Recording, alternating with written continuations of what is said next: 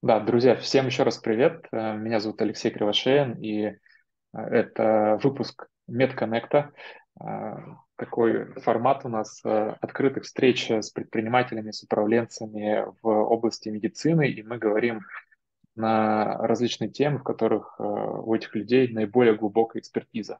И сегодня ну, такая впервые тема, а, и она очень интересная, судя по откликам в нашем телеграм-канале. Сегодня у нас э, в гостях Виталий Баранов.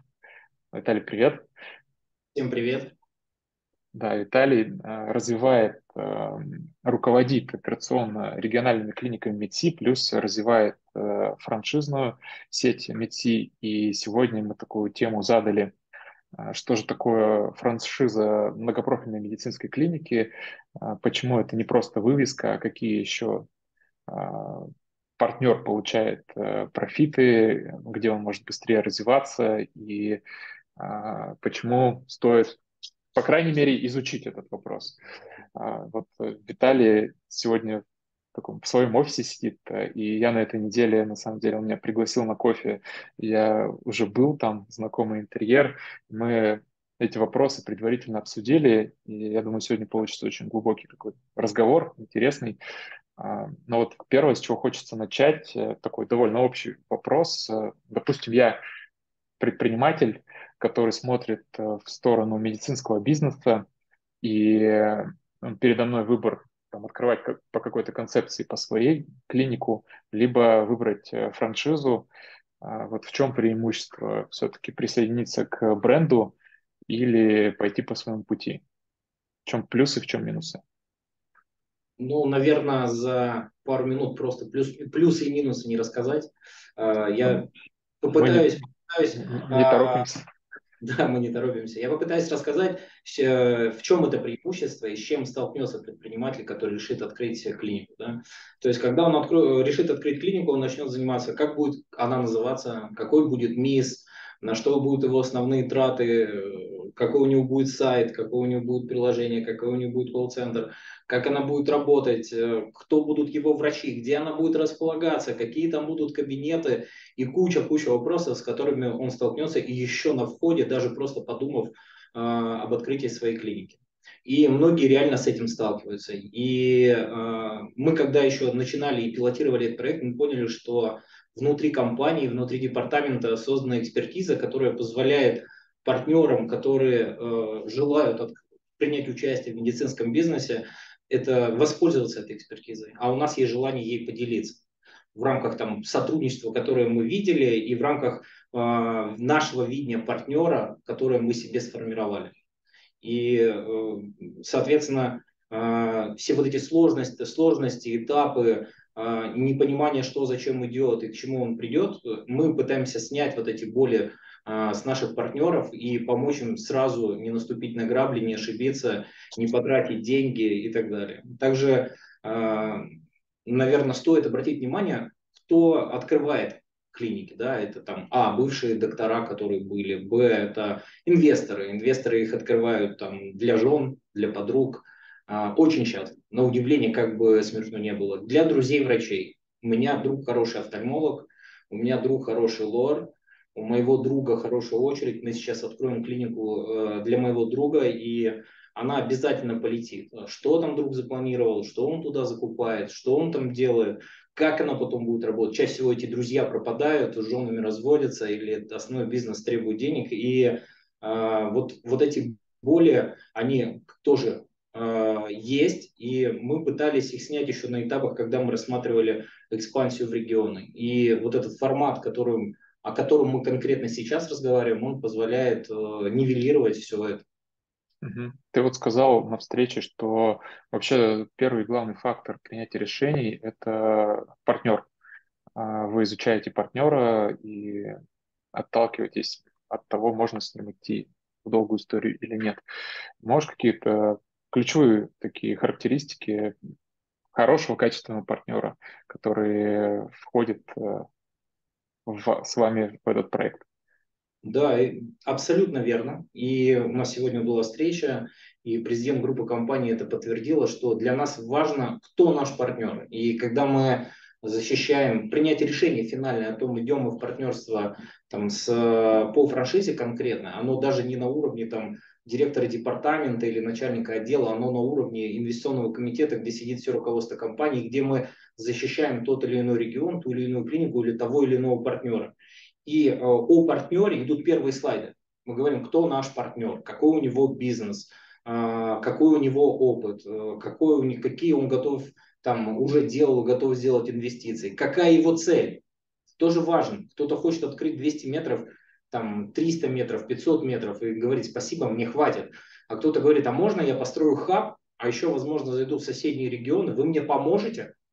И э, вот это выстраивание э, диалога от поездки, а мы ездим, ну то есть я сам лично езжу к каждому партнеру, который у нас появляется, и мы изучаем, мы готовим вот эти презентационные материалы, и вот эта химия на первой встрече, на какой-то, да, я тоже даю свою обратную связь из того опыта, который есть, то есть химия была, не было, э, что я думаю, какие я вижу риски, ну кроме этих материалов, наверное, это тоже какое-то, ну там, а, доверие со стороны компании, а, б, это Э, попытка почувствовать, находясь в офисе в Москве, э, с кем мы делаем этот бизнес. Но и пока это работало. И я думаю, оно и дальше будет работать. Из как раз из-за того, что у нас нет цели массовости, это позволяет выбирать партнера точечно и понимать, что мы в нем не должны ошибиться. Вот это ну, важнее даже тех инвестиций последующих, там, которые он сделает.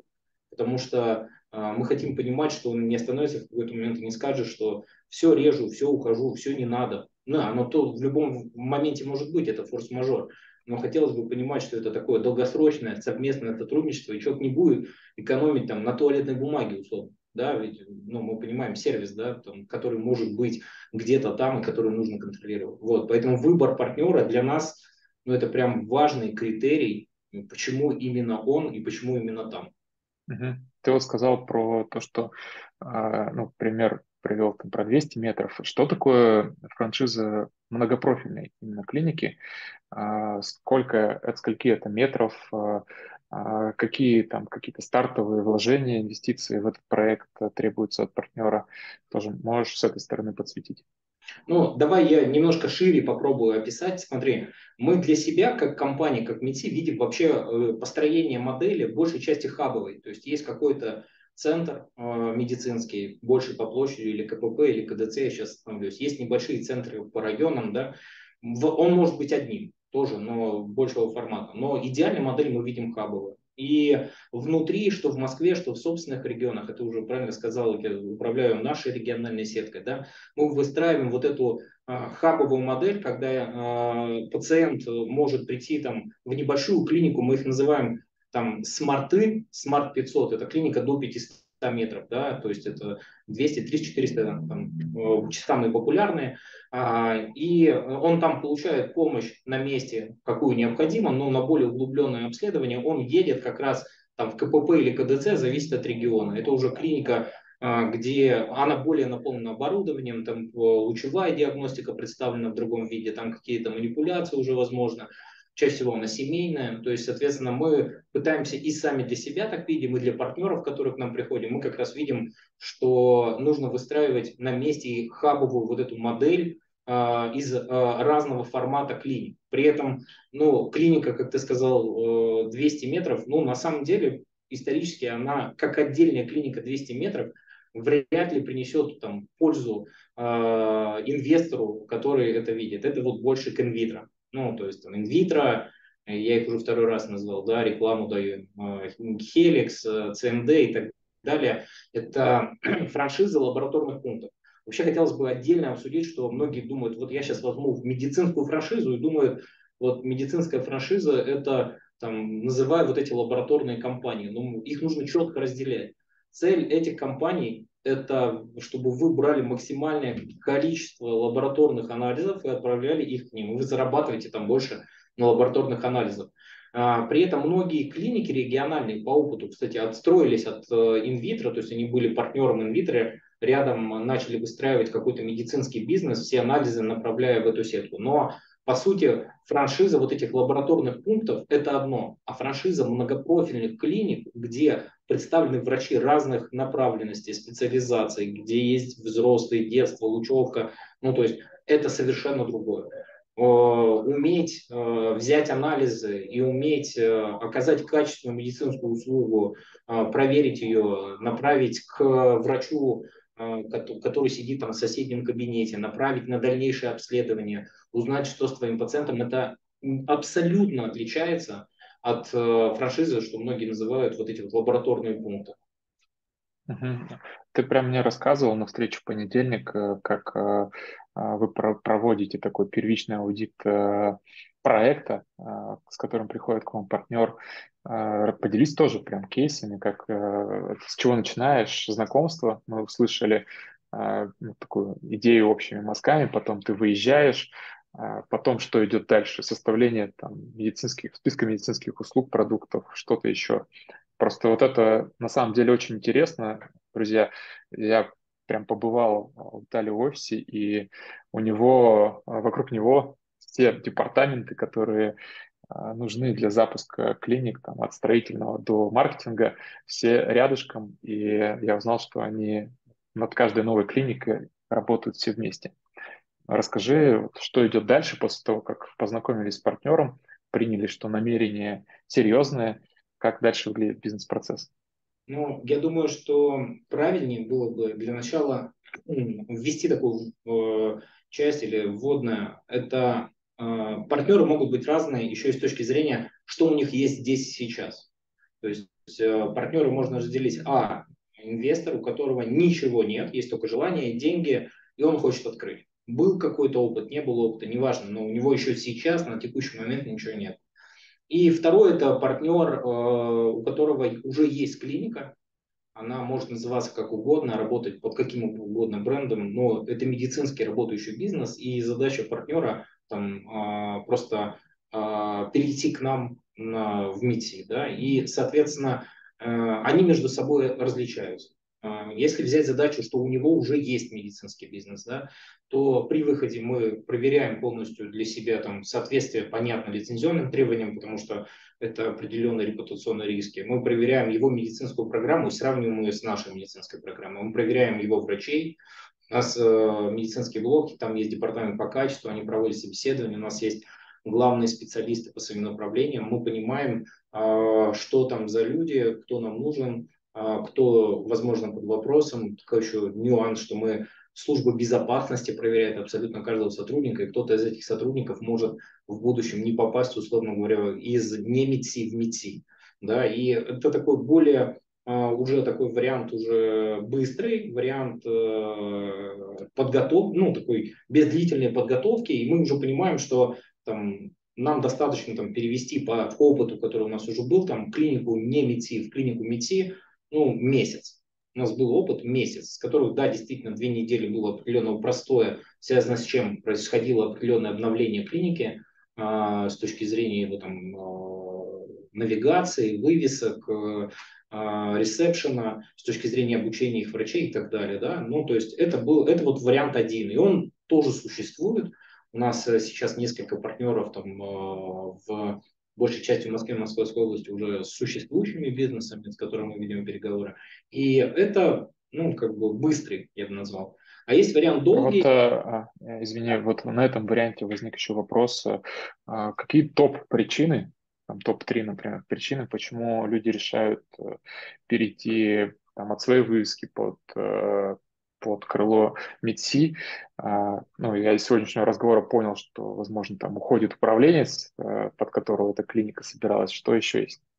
Ну, уходит управленец – это как одна из причин чаще M&A. Нет, на самом деле а, то, что мы обсуждали здесь с партнерами, я бы даже сказал, из городов-миллионников, даже уже существующими сетками, почему, почему они выбирают франшизу. Первое, почему они выбирают, они на потолке, ну, у потолка, да, они уперлись, и думают, ну, а что дальше?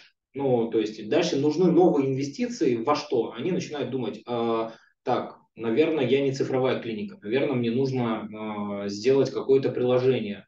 Наверное, я еще не выжил максимум из того, что есть у меня вот здесь и сейчас.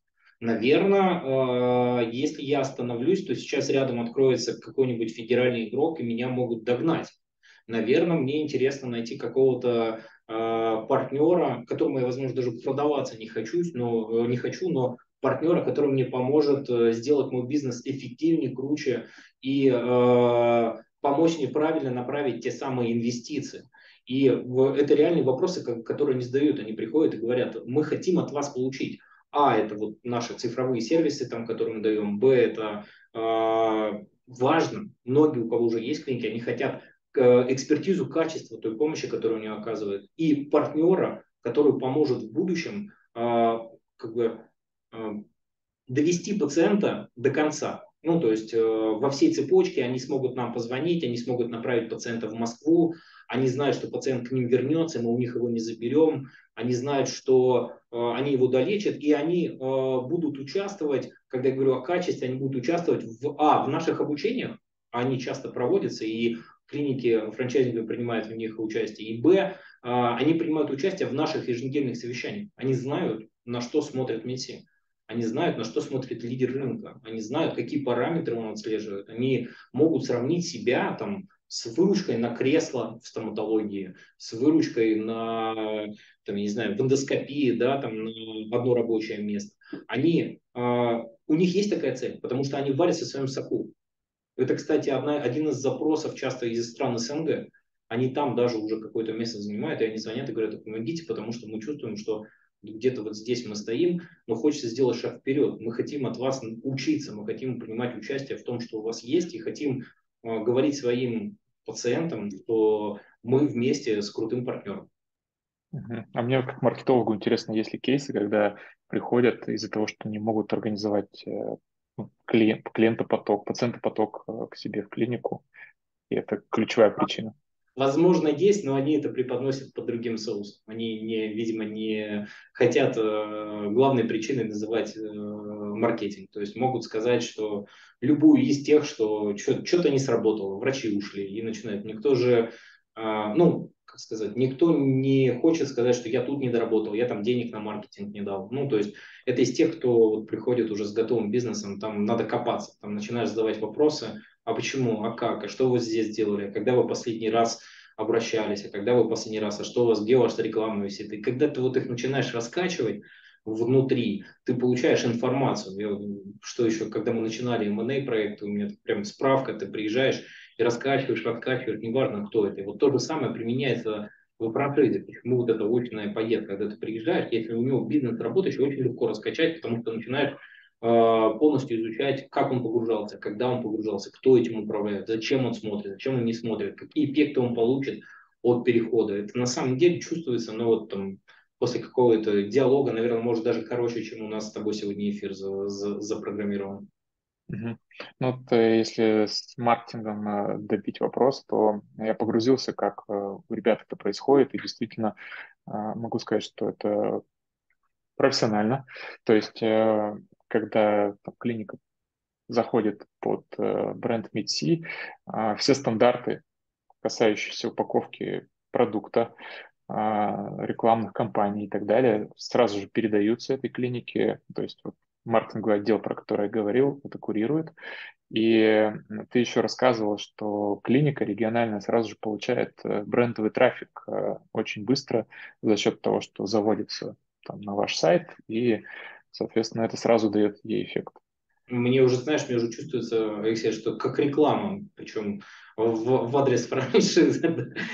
Нет, Нет а, я... Да, просто ты э, сейчас э, поясню. Э, я э, работал... Это значит, смог убедить тебя с примерами и доводами тем, что было, что ты, ну, как бы ответил на все твои вопросы, и ты понял это. И это приятно просто слышать, я больше к этому не хотел Супер. тебе смотреть. А, я а, просто работал с франшизными сетками и видел разные ситуации. Почему я и назвал так, э, по мне, немного с перчиком тему, что франшиза это не, не просто покупка вывески, потому что я хотел подсветить э, вот этот кейс, когда э, действительно не просто вот вывеска, вешайте и делайте, что хотите. Я видел с точки зрения маркетинга, что происходит, когда не отстроены процессы, что каждый региональный партнер там тянет э, в свою сторону, по-разному представляет продукт, и это потом влияет на бренд в целом. Здесь э, совершенно противоположная картина. Может быть, я не профессионал в медицинском бизнесе, но вот с этой точки зрения я могу оценить, как настроено, поэтому я это подсвечиваю. Окей. Давай, а. давай отвечу. А, ну, во-первых, конечно а, ну, появляется страница клиники любого другого города у нас на нашем большом сайте, большом во всех его смыслах, и э, сайт, который постоянно продвигается, несмотря на то, что он московский и э, где-то федеральный, и, соответственно, клиника появляется внутри, выбирая город, что там неважно, можно озвучить, там ближайшая региональная клиника, которая у нас большая откроется, это во Владимире, да, то есть хоп, клиника Владимир, и они уже появляются не где-то там внизу, а наверху. Если мы говорим о других маркетинговых вещах, о которых ты говоришь, то А, мы полностью, э, это не только вывеска абсолютно, но и полностью внутренняя навигация, полностью все продукты, раздатка на старте, э, полностью все э, требования, которые мы выполняем для наших клиник, они также заходят в клиники. Но еще дальше мы, используя, готовя вот эти продукты, готовя маркетинговые материалы и все, что мы делаем, мы их передаем франшизеру для того, чтобы он мог их пиарить у себя, в том числе для того, чтобы э, привлекать пациентов в будущем. Это тоже важно, ведь подготовка материалов занимает, ну, я не буду говорить про деньги, это занимает даже э, умы людей, потому что не понимают, что им нужно сделать, они не понимают, куда двигаться. И когда ты им говоришь, я тебе дам продукт, не переживай, я проведу несколько CVM-компаний там в течение месяца, я э, распиарю продукты в рамках там контекста, который у нас там идет, да, в рамках там социальных сетей. Я э, помогу тебе, так же, как мы это делаем, там, выбрать правильно билборды, компанию, то есть, да, это подсказка, это подсказка рабочая, с которой, о которой мы договариваемся, но клиент это тоже ждет. Но при этом очень важно, что э, получая все эти материалы, распределение там, ресурсов, э, на что бить, как идти, что брать, что не брать, остается на франшизере. Мы даем ему как я уже говорил, удочку, во многих процессах мы даем удочку, я даю ему удочку, я ему говорю, вот озеро, вот, вот тебе наживка, вот бери, делай вот так. Ну, если ты считаешь, что это по-другому, ну, давай. Только тогда, если ты по-другому, просто покажи, мы должны тебе сказать, что это не нарушает там, общих требований, которые есть внутри компании. Угу. Принято, разобрали. Давай ко второму случаю, когда это инвестор, и у него еще нет действующего бизнеса, и он с нуля начинает. Ну вот, давай, да, это, наверное, более интересно. Ну, во-первых, те люди, которые здесь, они просто рядом. Это, да, есть люди, которые здесь не помогают, маркетинг, строители, они занимаются э, стройкой маркетинга своих клиник и, соответственно, помогают нам в рамках для всех франчайзинговых клиник, они работают как на них тоже. То есть они подсказывают, они меняют планировки, они дают экспертизу, это то, вот, о чем я говорил, что получает наш партнер. Соответственно, ну, там, на примере последнего там, партнера, который решил сделать хаб, мы проработали с ним, ну, я вообще могу сказать, что я сэкономил им денег, наверное. Потому что если бы я захотел просто взять э, франшизу, я приехал в одну из республик, сейчас просто не буду называть какую, они говорят, у нас есть 300 миллионов, мы сейчас здесь вот забабахаем, и все будет хорошо. Я им сказал, очень круто давайте не будем этого делать. А почему? Я говорю, покажите мне, кто это будет, откройте мне планировки, покажите, что вы, почему здесь. И вот мы долго обсуждали, и в итоге люди остановились, а, не стали тратить эти деньги. Я даже подумал, что мы потеряли партнеров. А, хотя я их убедил, я говорю, вы можете их тратить, но вы их просто выкинете. Вот, они объявились спустя какое-то время, и вот с последними, о чем мы разговариваем, то есть мы с ними спланировали, а, полностью провели маркетинговые исследования, спланировали, э, где откроем маленькие клиники, где большие, как, как, какая большая нужна, насколько большая. И люди уже начинают э, сейчас поиск, они начали с маленькой, просто вот именно тот район, те здания, которые мы искали, они уже освободились, они нашли помещение, и при этом уже ведут переговоры по большому вот этому хабу, как я говорил, что у нас хабовая структура строится. А дальше, если уходить там от них, вот где мы уже дальше зашли, это они выбирают локацию, это если на примере Владимира мы смотрим локацию, мы ее согласовываем. Дальше идет рисовка планировок. Это на самом деле безумно важный момент. Многие думают, я вот сейчас нарисую, сейчас все будет круто, и у меня будут сплошные кабинеты даже забивают на какие-то лицензионные требования, или у них все кабинеты одного типа, или кабинеты больше, или кабинеты не такие, они не предусматривают очень много вещей, они забывают про окна, а это нюансы, это специфика, потому что медицинские помещения должны быть ну, там, определенно, определенного типа, они должны быть глубокими, тогда ты переплачиваешь там, за метры, которые внутри. Там очень, очень много нюансов, как правильно выбрать помещение. И, э, то есть, мы приезжаем, начинаем рассказывать, после этого мы делаем с ними предварительную планировку, дальше наши технологи, строители, которые у нас есть, помогают нам сформировать правильную медицинскую программу внутри, ну, то есть, я имею в виду расположить кабинеты максимально эффективно. Вы должны понимать, вот я сейчас, наверное, в сторону иду, ведь процент медицинской площади э, от общей площади, ведь многие думают, что медицинская площадь это много. Нет, чаще всего она меньше 50%. А за остальное ты просто платишь, плюс там помещения там начинаются мощный инвентарь, санузел детский, санузел взрослый, санузел МГМ, помещение персонала. Вот вроде кажется, а так и есть, там ресепшн, гардероб, вот ты вот так вот все понатыкаешь, а ведь их надо сделать. И вот правильное расположение внутри – это очень важный нюанс. То есть мы э, помогаем сделать это правильно. Дальше начинается этап строительства. Мы передаем, в принципе, у нас уже для своих клиник готово, мы там передаем техническое задание, как эта клиника должна выглядеть. Они строят, у них есть вопросы, они задают их нам, мы их консультируем.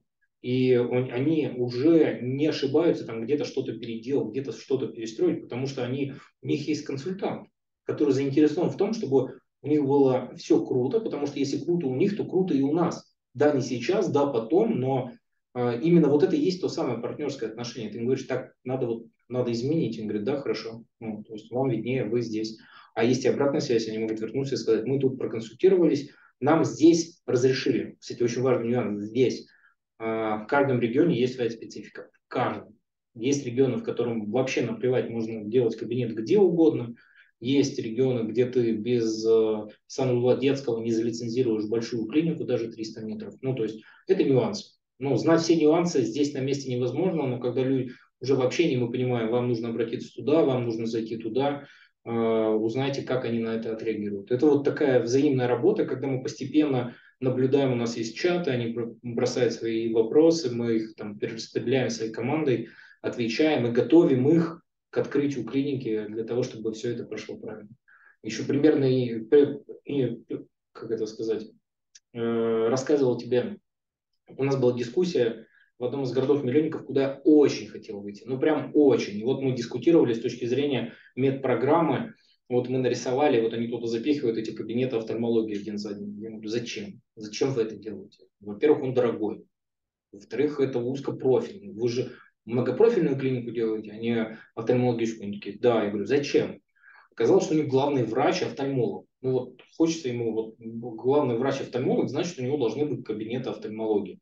Не, ну имеет место быть, ну сделал один, но подтверди, что ты реально его сможешь заполнить. Ну зачем тратить инвестиции в, в, в так широко? Вот он сидел, защищался, что у меня там э, куча, куча знакомых, родственников, сейчас все придут, все будет работать, как это обычно происходит. Да? То есть вот, а потом мы сидим и говорю, ребят, ну у вас же стоматологическая сетка. Они говорят, да.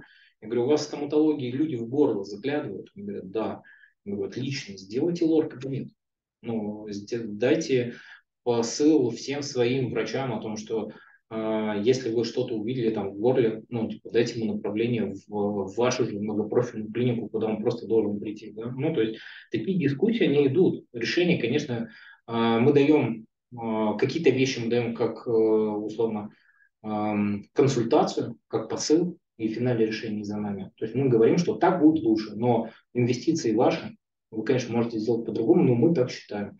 Но люди, люди, которые в это инвестируют, они сами оценивают свои риски. Но чаще всего они соглашаются, это прям 99%. Угу. Вот э, интересно, я сейчас связал э, от эту историю и от одну из тех, которые ты в начале разговора озвучивал, что про два кабинета офтальмологии мы генерим вот этот первичный трафик, э, через эти кабинеты проходят люди, и если там, опять же, преимущество франшизы, которое я для себя сейчас понял, э, если обычная клиника, моноклиника, например, не может там открыть какие-то более сложные операции или что-то еще на глаза, то она этими кабинетами потом пропуская, и врачи направляют к конкурентам. И ну, клиент там, там остается.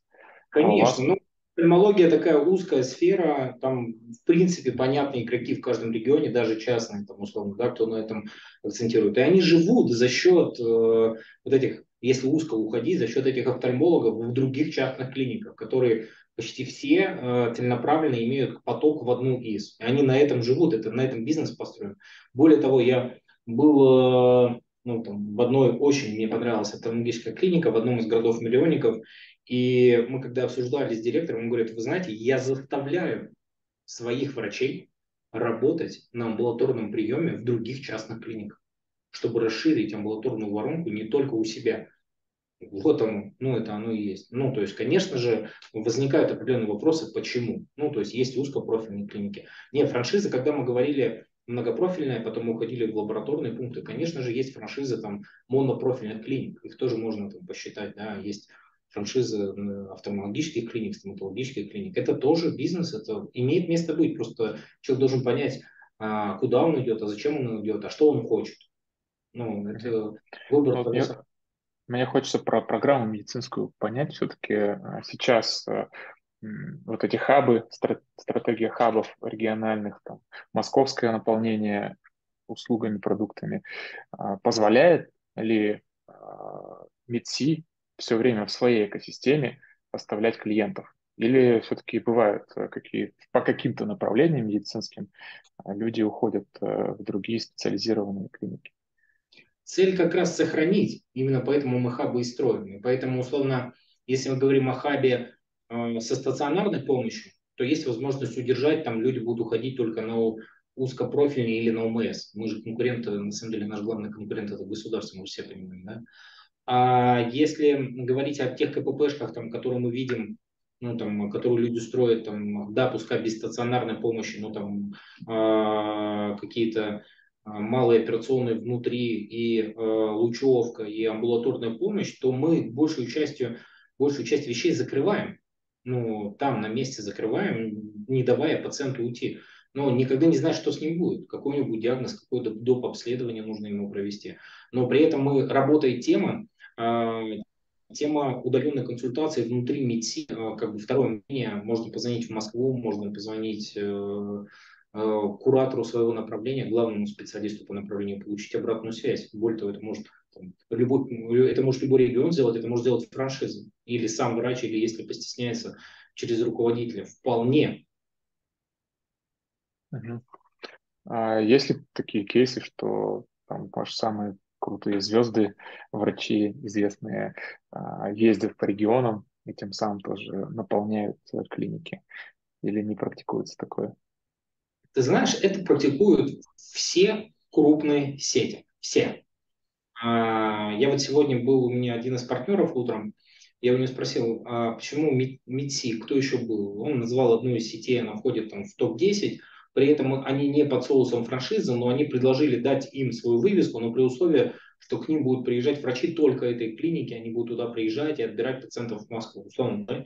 То есть э, многие, и даже, как я уже сказал, все крупные сети э, с крупными центрами в Москве, э, и не только в крупных городах, настроены на то, чтобы забирать себе пациентов оттуда. У нас же наши лучшие врачи, правда лучшие там, по ортопедии, по онкологии, по гинекологии, урологии и так далее, тоже выезжают как в наши региональные клиники, так мы уже обсуждаем там а, график выезда а, во франшизные клиники, потому что это способ завлечения пациентов в эту клинику, да, то есть а этот пациент э, будет знать, куда ему идти, он будет знать, что он сможет получить какую-то помощь а потом мы ничем не отличаемся от других, но здесь это все в рамках единой медицинской карты внутри одной системы. А, он назначает анализы, он их сдает, или это предоперационные, или просто анализы. И все это сохраняется, и все, вся история, все здесь, все внутри, это, ну, как бы это круто. Это, кстати, еще тема, наверное, а, телемедицинской консультации, да, то есть и приложений. Я не знаю, мы с тобой э, чуть вскользь сказали, да, что они получают. Но смотрите, я как-то в своем канале писал, э, мы когда были э, в Скандинавии на обучении, нам очень интересно рассказывали, они тоже активно работают над своим приложением, оно мне очень понравилось, более того, я тут некоторые вещи для себя подцепил, что почему бы нам ими не воспользоваться, да, но потом я вернулся, начал разбираться, как у нас, кто делает, сколько и так далее, и выяснилось, что у нас там на постоянной работе работает 70 70 человек работает над нашим приложением, да, на постоянной основе, есть еще на временной. То есть это такие инвестиции, которые мы вкладываем в него, и это инвестиции, которые люди, находясь где-то там, могут не вложить. Ну, то есть они а, ну, никогда не достигнуты, почему они приходят, что им нужно сделать шаг вперед, а сколько нужно денег, они не понимают. А когда мы говорим о франшизе, то партнер получает мисс приложение и приложение автоматом, и все наработки, которые мы уже делаем, он их просто получает. То есть для него он, о, классно, у меня сегодня там еще что-то. Вот недавно у нас появились индивидуальные QR-коды. О, классно, у меня есть индивидуальный QR-код. О, там еще что-то, да, это связано там, с другими системами, мы их дорабатываем. То есть э, клиники их получают. И в приложении мы доработали э, телемедицинские консультации. Это вот связано как раз с теми выездами в том числе. То есть врач, сидя на приеме, э, ставит себе расписание онлайн-офлайн и может принять там пациента вживую, потом закрыть дверь, примет пациента через э, телемед, потом снова откроет дверь, он может вживую принять, он может попросить его там по результатам анализов э, позвонить, он может, э, врач московский принял, уехал, к нему можно на телемед записаться, и все в рамках вот этой единой карты внутри МИСа. И вот это, ну, как бы реально класс. То есть я знаю, что многие работают над телемедицинскими там, приложениями, консультациями. У тебя недавно были люди, которые об этом рассказывали. Но в моем понимании э, они э, больше настроены, они ищут партнеров. Нам, ну, у нас у самих есть А врачи, Б, получается, вот эти э, франчайзинговые клиники, когда приходят, они уже могут на этом зарабатывать, и просто работать с своими врачами, чтобы а почему ваш пациент вам не позвонил на повторную консультацию, чтобы его, почему вы это не делаете? Они могут продвигать это внутри своего региона, и пациенты внутри могут им звонить там из сел, из городов, которые рядом находятся, то, что мы пытаемся практиковать. Вот. И ну, это очень классный инструмент, э, который тоже пользуется спросом. Угу. Круто. Э, зафиксировали. А, последние два вопроса про открытие клиники. Вот все-таки медицинская программа она тоже, наверное, от региона к региону как-то меняется, как э, подходите к тому, чтобы помочь э, новому франчайзи собрать эту медицинскую программу оптимально, или есть какая-то стандартная, стандартный набор, который обязательно, скажем так, э, история, и потом уже к нему что-то добавляется в зависимости от спроса? А, хороший вопрос. Вот в прошлом году мы в регионах моим департаментом открыли 11 клиник разного формата. Мы тоже задавались тогда себе вопросом, какие, где, куда. Плюс мы сейчас, вот, когда участвуем э, в различных проектах, мы тоже погружаемся. И ты знаешь, есть, как бы называется, набор обязательных, обязательных э, врачей, который там должен быть. Он для смарта, для КПП, то есть медпрограмма, она такая процентов на 60, наверное, 70, как обязательная для того, чтобы попытаться максимально, зачем он, ну там пациент, а, вот он зашел к терапевту или к педиатру, зачем ему понадобится, что еще? Ну, УЗИ, ну, гинеколог, ну, так, лабораторка. Ну, и вот мы распределяем там лор, офтальмолог, и у нас есть там набор помещений, которые должны быть как обязательно must И остаются часть помещений, это специфика региона, специфика локально мы же делаем маркетинговые исследования, мы сами для себя, когда у нас партнеры, мы с ними делимся, они проводят, мы их просим пройти, посмотреть, у кого что как. То есть нужно у регионального рынка может быть своя специфика. Вот один из последних регионов оказалось, что там почти нет детских клиник. Мы, не планируя, решили в КППшке резко расширить э, детство, потому что оказалось, что, ну, правда, нет.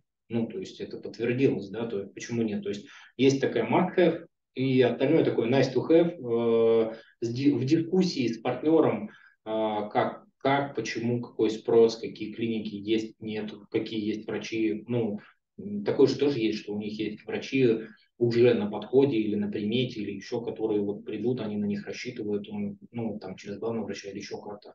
То есть это касается каждой программы. То есть, э, и поэтому мы форматы разные выделили, и мы уже внутри их играем. Ну, есть же детские врачи, есть взрослые, есть врачи, которые и для детей, и для взрослых, да, и, конечно, в КППшках мы их ставим для того, чтобы а, легче было амбулаторную воронку сводить и от взрослых, и от детей, и наполнять вот этих врачей. Чаще всего они, кстати, с большим средним чеком и позволяют больше зарабатывать. Угу. Понял.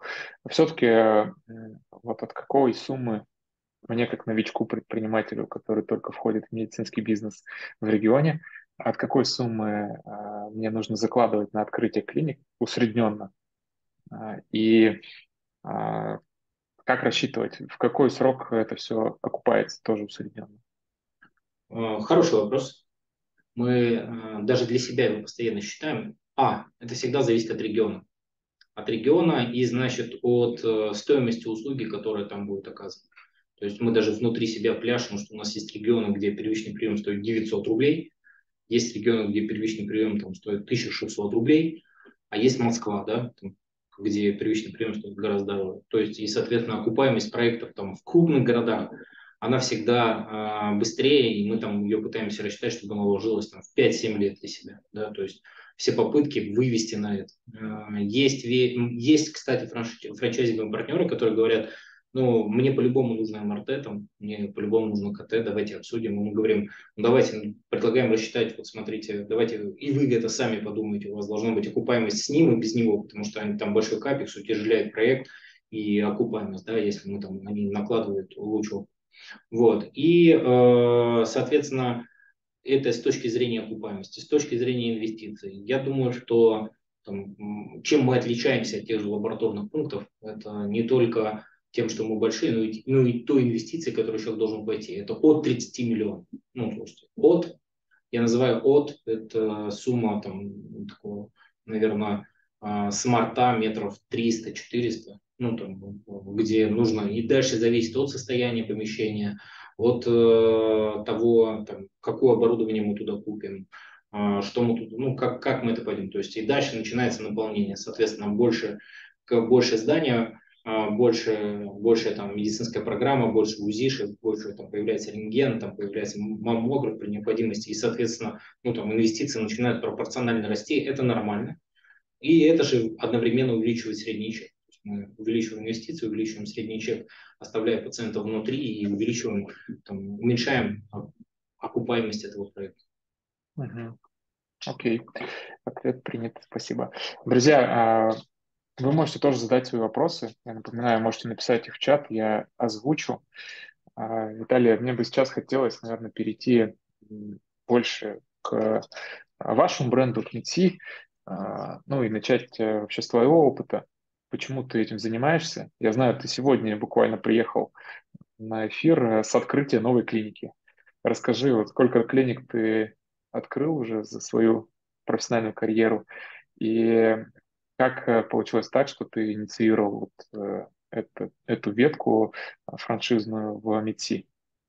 Ну, начнем с сегодняшнего дня. Да, действительно, сегодня а, мои коллеги из Московского департамента открыли клинику Воденцова замечательная клиника, две с лишним тысячи метров, такое я бы уже почти КДЦ назвал.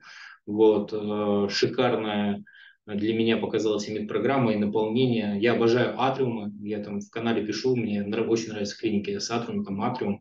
И, э, соответственно, это опыт, который ну, ты получаешь в процессе открытия клиник. И, как я уже говорил, мы там в прошлом году открыли только 11 клиник, есть клиники, которые мы открываем в этом году. Это те, которые мы сами построили через органику, через э, э, полностью процедуру от поиска локации до, э, до уже открытия и наполнения и продвижения. Да? То есть вот, вот эту цепочку, ну, наверное, если взять там три года последних, то это там 17-18 клиник, которые мы разного формата открыли. Но это только, опять же, как я сказал, органика, а есть еще M&A, в которых мы активно принимаем участие. Мы смотрим сетки внутри городов, мы смотрим новые регионы. И это, э, наверное, уже есть такой, знаете, термин насмотренность. Да? То есть ты приходишь, ты уже знаешь, куда посмотреть, э, всегда заглянуть в туалет, всегда посмотреть, э, включен ли компьютер, а включен ли УЗИ, ну, там, ну, потому что многие, а бывает такое, что они даже в розетку не включены, они тебе рассказывают, что они на нем с утра до вечера работают и так далее. Да, то есть вот эта тема насмотренности. И она, в свою очередь, сыграла, потому что э, я, ну, развивая там наши региональные клиники, э, столкнулся с э, там, процессом интеграции, когда еще был, э, учился еще этому процессу. Я вообще считаю, что процесс интеграции – это отдельная тема. Мы в том году интегрировали три большие сетки, 52 клиники. Вот, это прям глобально этим нужно заниматься и понимать, там очень много нюансов. Вот, и э, вот это управление своими, умение строить, участие в оценке э, конкурентов и ошибки, которые ты, с которыми ты даже вот в операционке в текущей сталкиваешься, оно позволило уже понимать, а что ты можешь предложить. Ну, то есть, а, а как это происходит? И когда-то, я помню, было в Ижевске, мне позвонили, говорят, Виталий, сейчас вот будет проект э, франшизы, надо помочь, как-то открыть клинику, как-то. Ну, надо подумать как-то, может даже договор заключить. И э, удачно мы там, не имея ничего на тот момент, не зная, как их присоединить к каждой нашей системе, даже к тому же приложению, мы активно, активно наполнялись э, ну, как бы процессами, которые мы себе записывали в наши дорожные карты, и поняли, как это есть. И те процедуры, которые мы там сами прошли, и опять же те, тот опыт, который мы сейчас получаем с партнерами, в том числе там на СНГ или еще где-то, да, там, изучая конкурентов, изучая все, что есть, он позволяет и применять это на своих клиниках и делиться этим с партнерами. Прям сказать, съездите, посмотрите. Я, есть партнеры, когда я говорю, обязательно съездите в Пермь. А есть партнеры, которые говорят, нет, вам в Уфу. Ну, то есть э, от их потребностей тоже идет. Ну, то есть что они хотят.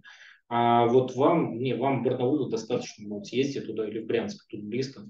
Вот просто посмотрите, как сделано, надо сделать так же. Ну, или, ну, то есть это, ну, это уже работает просто из того, где ты и кого видел. Причем есть шикарные региональные сетки, шикарные, которые работают, я бы даже сказал, лучше в чем-то.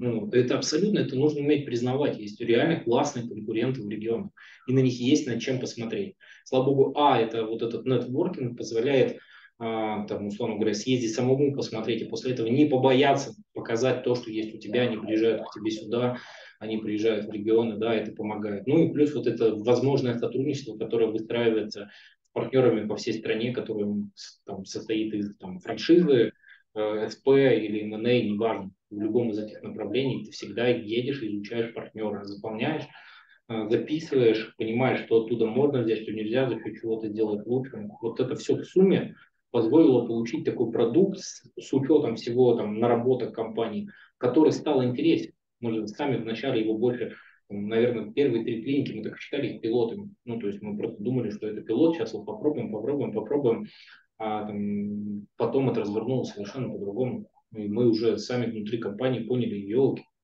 ну, это, это, это не пилот, это уже продукт, давайте обсуждать.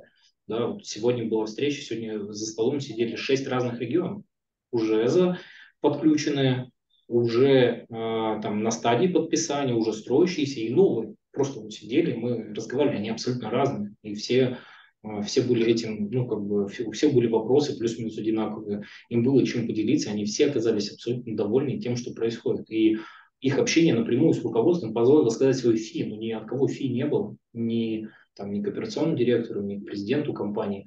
Они, наоборот, говорили, мы, мы прям ждем, когда откроемся, потому что мы ждем того, что вы, что вы, что вы, что вы нам вот сейчас рассказываете, что мы видим, что мы участвуем, у нас там стажировки в другие регионы. Абсолютно классно. Ну, для МИДСИ а, как эта стратегия сейчас звучит? Э, то есть московский регион – это свои клиники, а, а остальные регионы – это франшизы, там, совместные проекты, или как это? И, и, или здесь такого, такой градации нет? Э, расскажи про это.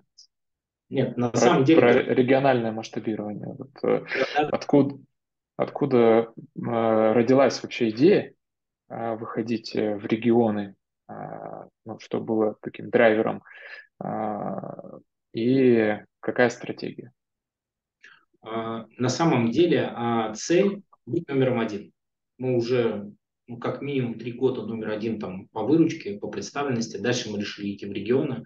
Цель от моего руководителя – это быть э, топ-1, топ-3 в каждом регионе присутствия. И там в четырех регионах так и есть. Еще а, в нескольких регионах мы на подходе, условно говоря, да, и э, цели региональной экспансии, она как раз разделилась, что мы внутри для себя смотрим, что, а, это СП, есть, ну, там, регион, э, где мы считаем, что без сильного регионального партнера нам может быть сложно. И мы бы хотели иметь там партнера, имеющего определенный свой ресурс там на месте, с которым можно через совместное предприятие развивать клиники там на месте. Есть варианты M&A, когда мы выкупаем да, там, существующие сетки, которых, ну, кстати, в последнее время довольно много приходит с предложением себя выкупить. Неважно, территориально это и Москва, и регион. Да?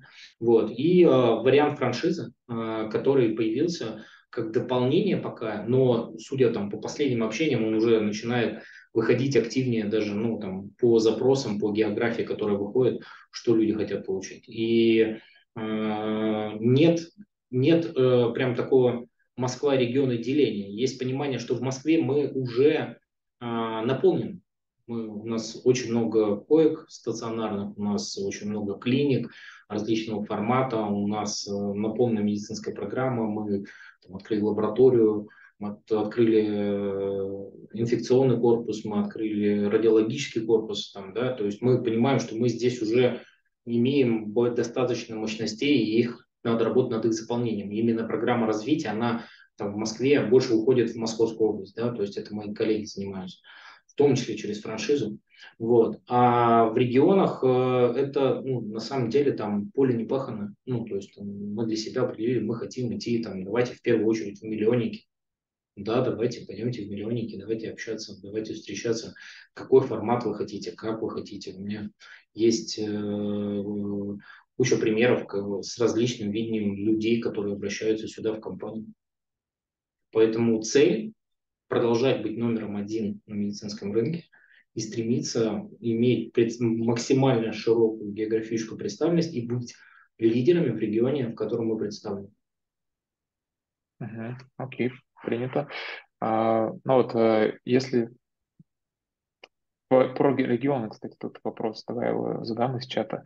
Если опыт э, расширения за рубеж, какие там есть подводные камни, если это в стратегии, если кейсы, Расскажи это тоже. Или только Россия?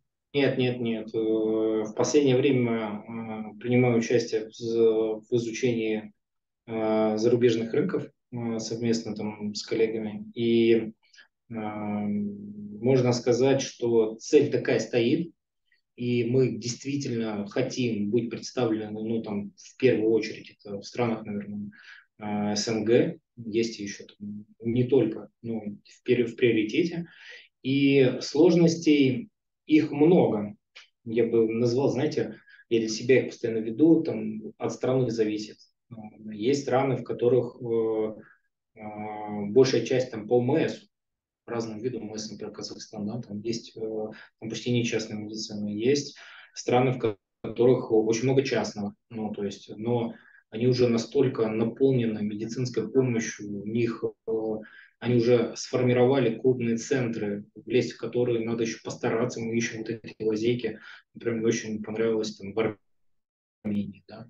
Есть страны, э, куда мы смотрим и активно там рассматриваем. Там, вот, кстати, в Беларуси сейчас активно изучаем именно франшизу. Ну, то есть вот. И э, сложности связаны, как я сказал, первое с МС, то есть готовы люди платить, не готовы, они вообще обучены к этому, да, там на локальном рынке. А дальше еще возникают сложности даже с точки зрения организации похожего процесса там, с чем мы столкнулись, там, допустим, закон по передаче персональных данных. Он есть и у нас, и там. И потом оказывается, что нам нужно создавать там параллельную IT-инфраструктуру. А если мы не параллельно возьмем их, соответствует ли их инфраструктура нашим требованиям, сможем ли мы те процессы, которые себя уже отводили, ну, условно, там, восстановить там же, да, ну, то есть мы сейчас в процессе их решения, слава богу, что мы ними столкнулись, создана там рабочая группа, мы их обсуждаем, уже по многим продвинулись, но я уверяю, многим предстоит с этим столкнуться. Давай разберем а, поподробнее разницу вот в трех типах а, коллабораций. А, про совместный проект более-менее понятно. Если есть э, сильный партнер, вы объединяетесь и усиляете друг друга. Франшиза, допустим, это совершенно новый регион, и мне как инвестору нужно входить туда с новым брендом. Ну, то есть МИДСИ там не знают. А, есть ли какая-то поддержка от э, вас, как федеральной компании, управляющей компании в продвижении именно бренда, либо это все ложится, маркетинг, э, весь бюджет ложится на партнера? Хороший вопрос. Мы как раз э, в рамках, когда пилот закончился, обсуждали, чем мы еще можем помочь э, новым клиникам, которые открываются, учитывая, что большинство из них заходят как новые.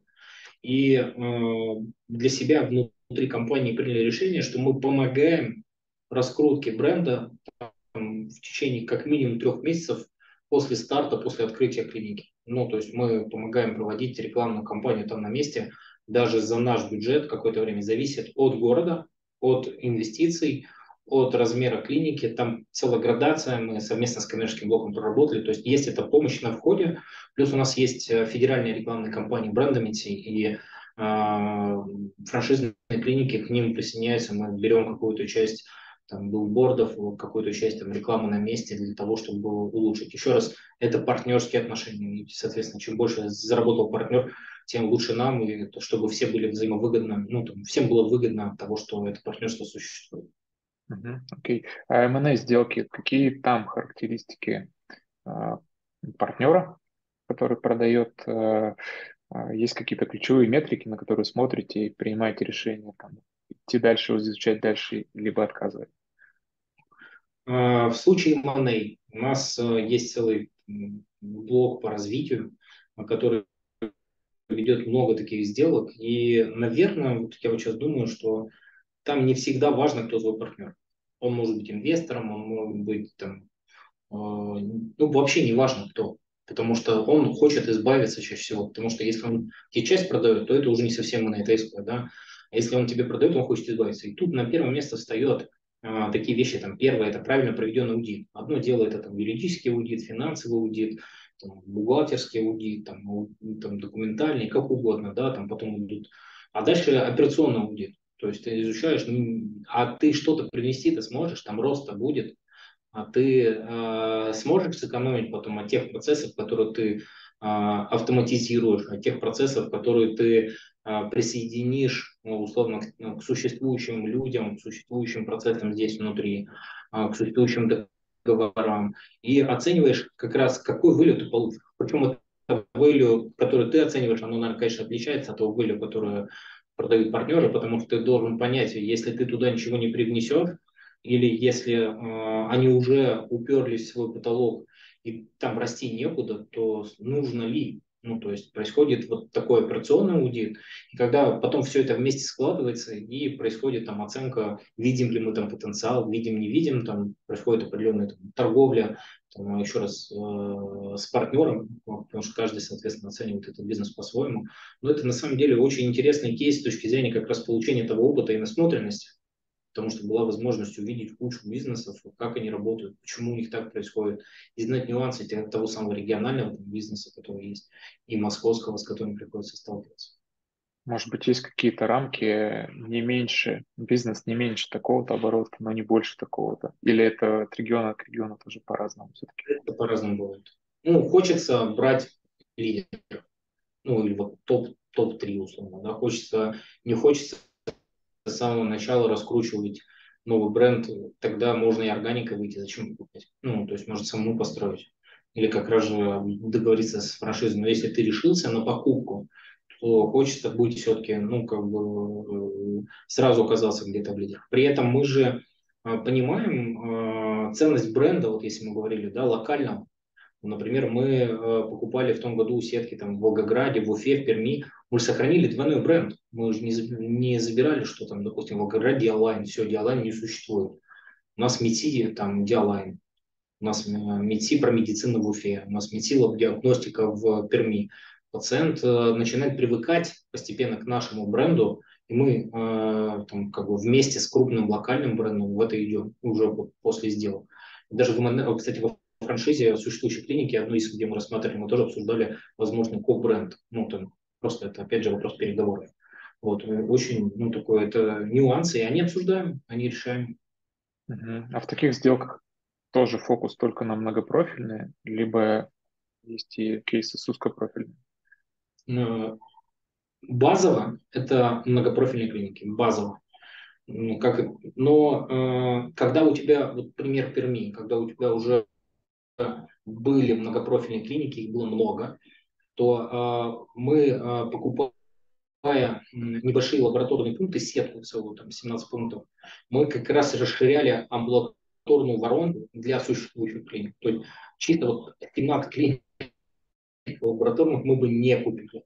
Но расширив амбулаторную воронку, переведя всех на единую систему, в единую лабораторию, полное введение пациентов э, внутри сети, ну, то есть мы получили эффект. Ну, то есть тут всегда нужно принимать решение, ну, то есть э, что ты с этого получишь. Это вот как раз то самое дополнение, которое мы получили, изучив партнера и рынок, и поняв, что это принесет больше эффекта положительного, чем ну, там, покупка а, просто лабораторных пунктов, которые нам не интересны. Хорошо. А, друзья, я напоминаю, у нас э, был запланирован час, и с Виталием мы уже так плотно час проговорили. Поэтому... Часть вопросов ответить. Да, да, да. Я как раз к ним хочу перейти, поэтому и хочу еще обозначить, что сейчас перейдем к вашим вопросам. Если у вас э, хотите что-то спросить, то как раз самое время написать в чат. А тут э, два вопроса, связанные с врачами. Э, как решаете вопрос дефицита врачей и специалистов в регионах? А, и есть даже предложение какое-то по поводу решения проблемы с лорами. Но, Илья, по поводу предложений вы можете написать Виталию, я думаю, по контактам, которые мы приложили. А вот про вопрос с дефицитом специалистов, он на самом деле интересный. Ну, он правильный.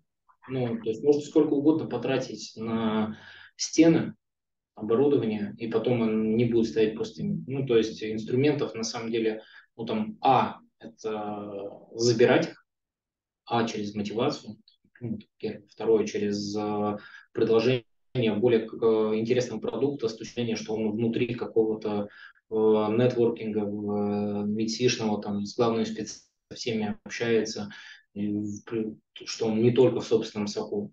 Ну, финансовая мотивация, конечно, тоже имеет значение. Но был у меня опыт привоза и даже из соседних регионов. Мы там где-то жилье снимали, где-то еще что-то. Но он всегда решается индивидуально. Если ты понимаешь, что не можешь взять вот так, давай пойдем по-другому, давай искать э, еще решение. Если не можешь, давай привезем, где, где, откуда можно привезти, кто готов туда поехать. Это дискуссия в рамках наполнения тех клиник, ну там, тех квадратных метров, которые уже поступлены. Я думаю, что Илья действительно может, там, если может написать, интересно будет почитать, могу передать потом не, необход... в нужные руки, как говорится. Угу. Ну и второй вопрос тоже, кстати, интересный про центр компетенций. Есть ли единый центр компетенций, а, как устроен контроль качества по сети? Мы про контроль качества частично сейчас ответили, но, может быть, а, углубиться, как это в IT-платформе сейчас реализовано МИДСИ. И тут же от вопрос, какая структура системы мотивации врачей. Три, три вопроса про врачей. Да, отлично. Мы же медицинская организация. Я вижу как раз чуть в сторону поэтому посмотрел. Ну, мотивация, э, мы должны понимать, она ну, обычно, как на рынке, есть фикса, есть переменка, проценты зависят от ситуации, от рынка. Есть регионы, куда я, кстати, как раз считаю, нам не очень надо идти, где люди до 50% платят. Ну, ну это, это излишки. Ну, так, э, а нужно ли идти в такие регионы, да, то есть э, но обычно это меньше процент, конечно. Есть ли центры компетенции? Конечно. У нас куча центров компетенции в московских стационарах. У нас есть главные специалисты по всем направлениям, которые мы вот для себя выделили как важные. У нас происходят постоянные мониторинги операционного блока, медицинского блока, бизнес-анализа по этим направлениям. Мы там не только финансовую часть смотрим, но и наполняем ну, медицинскую часть, да, какое мы новое оборудование купили, каких мы специалистов привезли, что у нас происходит. Плюс происходит э, общение через семинары, э, которые организовываются нашим HR-блоком и медицинским блоком. Внутри медицинского блока существует э, департамент по качеству. Они э, активно э, сейчас получают сертификаты по Росстандарту по качеству на нашей клинике. Мы, у нас есть там на Красной Пресне GCI, ну, то есть и одно из важных, э, один из важных посылов, в том числе взаимодействие с франшизами, можно в первую очередь о ней говорим, что это контроль качества оказываемой помощи, которую мы оказываем пациенту, потому что потерять пациента можно ну, там, очень легко, вот, э, удержать э, это нужно, нужно постараться. Супер. Так. А, я предлагаю на этом завершать. Виталий, мы на все вопросы ответили, и ты на все вопросы мои ответил тоже. Спасибо тебе за это огромное. А, я хочу напомнить, что к Виталию можно обратиться. Мы же все-таки рубрика MedConnect, мы связываем людей, а, и моя задача была в том числе подсветить экспертизу и дать аудитории информацию о том, чем может быть наш эксперт полезен, далее можно обратиться по поводу диалога про франшизу МИДСИ, по поводу покупки или продажи клиники. Ну и мне кажется, что если речь пойдет не про МИДСИ, а просто про консультацию, связанную с такими, такого рода сделками, то Виталий тоже подскажет а, ребятам из нашего сообщества. Подскажет. Ты дал мой контакт, это же личный номер. У меня, а, я чувствую, будет больше звонков с а, неизвестного номера. Вот, я обычно перезваниваю, потому что так получается, что звонят много и часто. Но основной посыл я тем, кто там был сегодня на эфире, тем, кто а, посмотрит потом, это если вам не нравится все то, о чем мы говорили, вы считаете, что не должна быть медицинская франшиза, не нужна она или еще что-то, то расскажите о ней своим врагам, пускай они ко мне придут. Если вам понравилось, расскажите своим друзьям, пускай они тоже ко мне придут. И мы найдем точки соприкосновения с каждым из них. Хорошо, супер. Ну, мне кажется, еще можно будет провести один эфир на тему интеграции. Это отдельная тема. Я сейчас не стал в нее погружаться, но она прям достойна отдельного часа. Э, обсудим это и запланируем. На этом тогда завершаем. Виталий, тебе еще раз спасибо. Друзья, всем спасибо, кто был сегодня онлайн и задавал свои вопросы. Спасибо за вашу активность. Хорошего вечера. Пока-пока. Пока.